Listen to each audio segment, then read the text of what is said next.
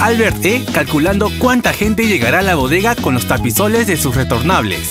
Encuentra tus tapas marcadas de un sol, 50 céntimos y 20 céntimos para que puedas comprar más retornables.